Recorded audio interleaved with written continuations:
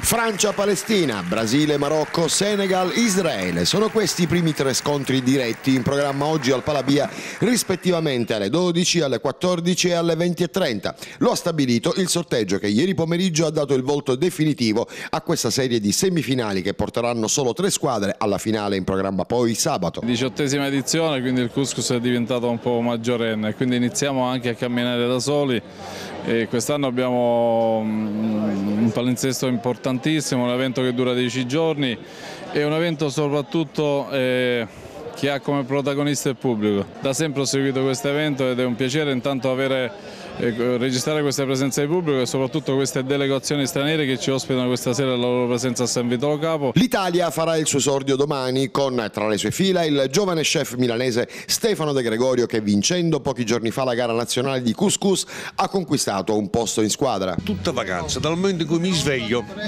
e finché si va a dormire che sono sempre le 2 le 3 di mattina, poi i cooking show cominciano alle 11, alle 10 e non mi siedo mai cioè loro ci danno i buoni pasto per andare, eh?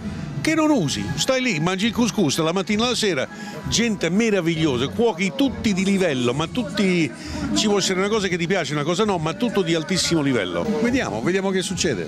Intanto ieri il Couscous Fest è stato bagnato da una pioggia tanto breve quanto violenta, che però non ha scoraggiato le migliaia di persone che in piazza Santuario stavano seguendo il concerto che ritualmente chiude le giornate della manifestazione. Beh, sul palco c'era Vinicio Capossela. Ai permette signorina, sono il re della cantina, bambino nella vigna sottratto nella cucina. E questa sera alle 23 a chiudere la prima giornata di gare internazionali l'attesissimo concerto di Marrakesh. Se questa è la miseria, non ci tuffo con dignità da re.